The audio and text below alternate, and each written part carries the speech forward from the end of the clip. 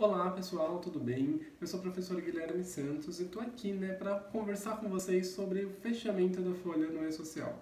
Você já se deparou com algum erro ao enviar o S1299, não conseguiu fechar a folha e precisou apelar para o S1295 para fechar a sua folha em contingência e cumprir sua obrigação de recolher o INSS? Você sabe por que, que isso acontece? São diversos fatores no evento S1200, no S1210, às vezes até no envio do S2200. Por isso, eu e a professora Poliana Chibur iremos fazer uma imersão no social, na prática, na tela, mostrando aí para vocês as interferências que a gente tem no fechamento da folha e diversos outros processos do e-social. Dia 24 e 25 de novembro, 100% ao vivo, 100% gratuito. Aguardo vocês lá.